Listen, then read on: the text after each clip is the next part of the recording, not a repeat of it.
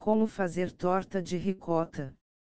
Ingredientes: uma lata de leite condensado, meio quilo de ricota fresca, uma e meia lata de leite. Utilize a medida da lata de leite condensado.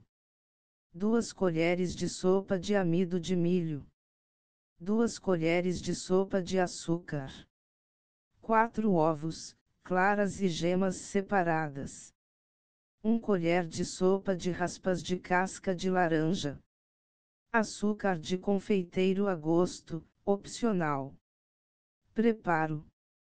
Reúna todos os ingredientes. No liquidificador, coloque o leite condensado, a ricota, o leite, o amido de milho, o açúcar, as gemas e bata tudo até atingir uma massa homogênea.